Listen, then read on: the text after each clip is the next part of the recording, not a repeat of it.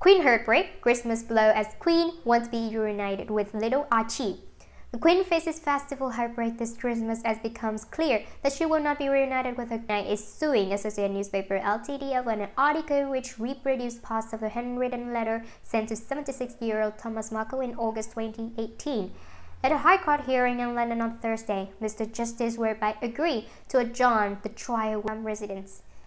And the royals also attended church service at St. Mary's Magdalene near the Norfolk estate it will be the second conservative Christmas Meghan and Harry have spent away from the royal family after traveling to Canada for the celebrations in 2019. There is no plans to travel at the moment, but any travel plans will be kept under review.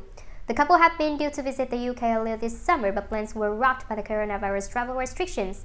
Meghan and Harry are currently living in Santa Barbara in Los Angeles and would also need to quarantine for 14 days in New England in this winter and ahead of Meghan's privacy trial in January.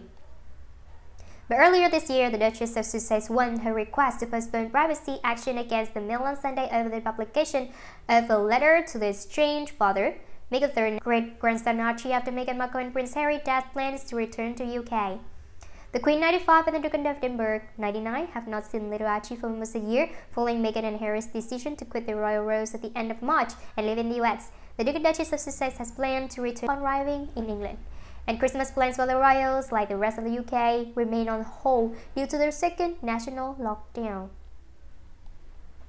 At a press conference, Prince Harry recently revealed his son Archie had taken his first steps, along with a number of precious firsts during the coronavirus pandemic. Speaking earlier this month, he said, We were both there for the first steps, his first run, his first fall, and his first everything.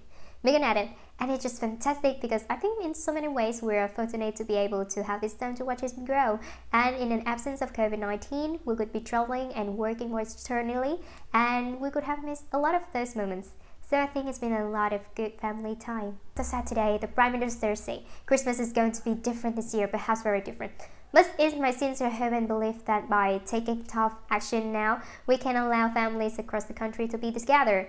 The royal family traditionally spent Christmas and New Year at the Queen's Sandringham, which was due to start on January 11 next year until the autumn. A spokesperson of Duke and Duchess said, it is unlikely that the Duchess will be traveling before the end of the year because the focus had been on the trial in January. As that is no longer happening,